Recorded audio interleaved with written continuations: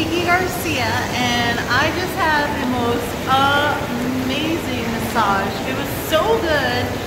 Not only did I fall asleep, I was actually having dreams while I was in there. So yeah, Helen at Isleta uh, at the spa is amazing. So I'm spending the day at Isleta Resort and Casino in the spa area. Like I said, I just had a 60 minute massage with Helen and she has some magic hands. I'm just gonna leave it right there. Uh, falling asleep and dreaming while massage, yeah, that doesn't happen often. You don't usually get that relaxed and I did.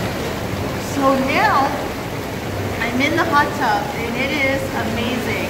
Look at this, it's absolutely beautiful. I'm gonna get up and just show you a little bit. There's the sauna right there, I will be partaking in as well. And of course, there's lounge chairs too. And you can see the fireplace and the hallway. So, would I recommend coming here and doing a little getaway for a day, maybe a staycation, rent a hotel room upstairs? Definitely. There's lots of specials for Valentine's Day as well.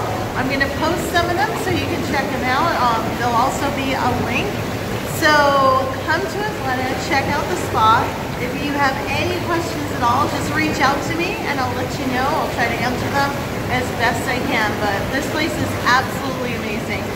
So relaxing, beautiful, and I love it. I'm coming back.